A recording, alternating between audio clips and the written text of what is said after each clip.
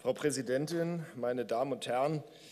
Der vorliegende Antrag beschreibt im Prinzip das, was eine funktionierende Senatsverwaltung ohnehin tun muss und tun sollte, nämlich ein fortlaufendes und nachhaltiges Management der Instandhaltung und Instandsetzung unseres Straßenverkehrsinfrastruktur abzusichern. So etwas nennt sich dann, wie auch in Ihrem Antrag beschrieben, schlicht Erhaltungsmanagementsystem.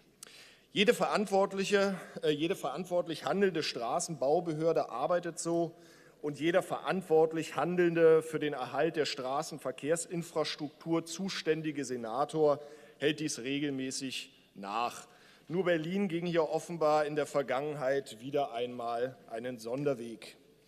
Die Kritik des Landesrechnungshofs sagt klar, seit mehr als 15 Jahren verschläft und verschleppt der jeweils zuständige Senator, im Übrigen in den letzten Jahrzehnten stets von der SPD gestellt, eine Gesamtstrategie, insbesondere beim Thema Brückensanierung.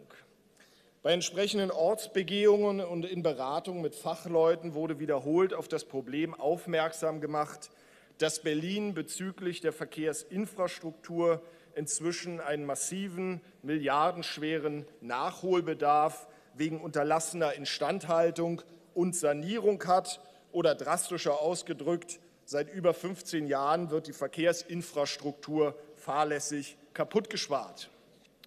Ungefähr der gleiche Zeitraum, also etwa drei Legislaturperioden, würde es bei optimaler Kraftanstrengung in Anspruch nehmen, hier wieder aufzuholen und die systematische Fehlentwicklung der Vergangenheit schrittweise aufzuarbeiten.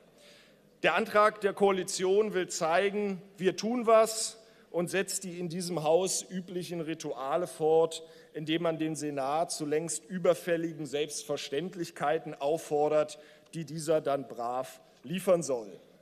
Mit Kontrolle des Senats oder dem Anregen von Verwaltungshandlungen durch das Parlament hat das nur äußerst begrenzt zu tun. Es ist eher Selbstbeschäftigung und Selbstbestätigung. Wir erinnern uns alle an die jährlich aufgelegten 25 Millionen Euro schweren Schlaglochprogramme, mit denen in Flickschuster-Manier versucht wurde, besonders prekäre Straßenabschnitte wieder flott zu bekommen, ohne ein dahinterliegendes Grundkonzept.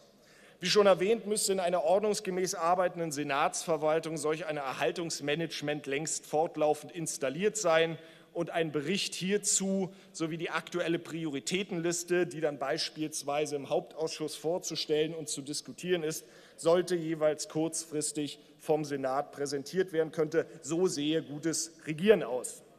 Die Einrichtung eines Erhaltungsmanagements für die Straßen- und Brückeninfrastruktur in Berlin ist ein erster Schritt in die richtige Richtung und sollte als Auftakt genutzt werden, dies auf alle relevanten Bereiche der öffentlichen Finanzwirtschaft auszudehnen, wie es in jedem gut geführten Unternehmen selbstverständlich ist. Vielen Dank.